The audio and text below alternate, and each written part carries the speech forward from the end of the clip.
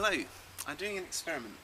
Unfortunately my dish got damaged, but I'm going to show a demonstration of what solar energy can do today. And what I'm going to do is I've got this solar dish here, and I've got this here to further concentrate the light. And let's have a go.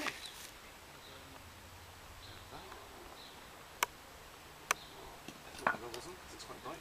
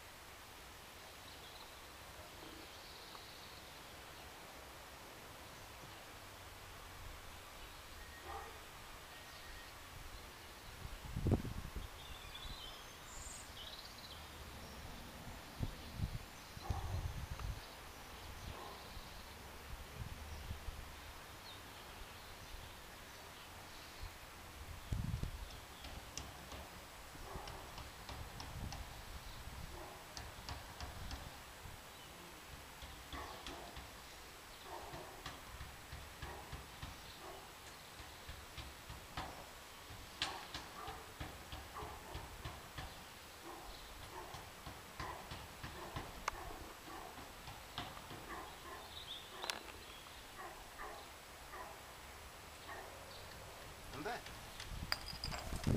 How about that? Only in a few seconds. I discovered that basically if you use the solar reflector you can re-reflect the light onto a point and then you can further concentrate it with the lens and then when you use combine the two it's much more powerful. When I was just using the dish on its own because of the slight imperfections of the angles of the mirrors the light started to scatter. With this I can further concentrate it and make, once you get really concentrated light energy, it'll make something super hot super quickly. Thank you very much for looking at my experiment.